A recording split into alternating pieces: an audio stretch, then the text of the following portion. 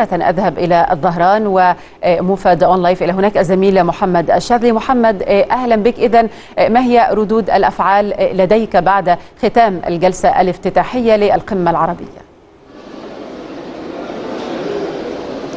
أهلا بك رغدة واهلا بمشاهديك الكرام. يمكن ردود الأفعال كانت قوية بعد كلمة الرئيس عبد الفتاح السيسي وبعد الدعم الذي قدمته المملكة العربية السعودية لدعم نضال الشعب الفلسطيني وكذلك دعم منظمة غوث وتشغيل اللاجئين الفلسطينيين. دعينا نتحدث منذ بداية الجلسة منذ أن بدأت الجلسة في الساعة الثانية والنصف توقيت المملكة العربية السعودية بكلمة جلالة الملك محمد أو عبد الله الثاني ملك الأردن ورئيس الدورة الحالية. قام بتسليم رئاسة الجلسة طبعا للمملكة العربية السعودية وخادم الحرمين الشريفين. تحدث في بداية حديثه عن أو قدم تقريرا عما تم إنجازه خلال الفترة الماضية وإنجازات وقرارات التي اتخذت في القمة الماضية في البحر الميت بالأردن وما تم تنفيذه حتى الآن من تمسك المملكة الأردنية الهاشمية بقرار حل الدولتين دعم القضية الفلسطينية حتى النهاية وأيضا يعني كان الدعم واضح من خلال العديد من القرارات وكذلك دعم الوضع في سوريا في جنيف وأستانا والمسار الحل السياسي في سوريا وأنه لا بديل عن الحل السياسي وهذا ما أجمع عليه غالبية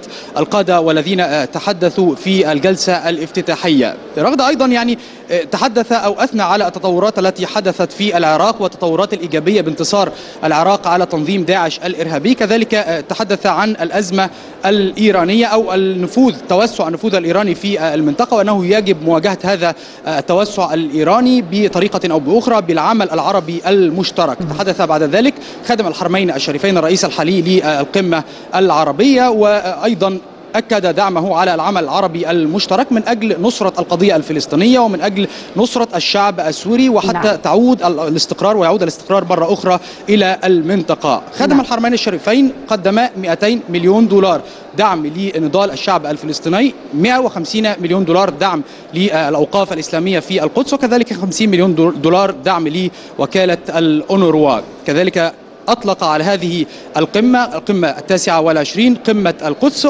تحدث من بعدها أيضا الرئيس الفلسطيني محمود عباس وأثنى على كل القرارات التي اتخذتها المملكة ودعم المملكة العربية السعودية كما أثنى أيضا على دور مصر في تحقيق المصالحة وما تم من محاولات لتحقيق مصالحة حقيقية على أرض فلسطين بين القوى الفلسطينية في القاهرة. نعم.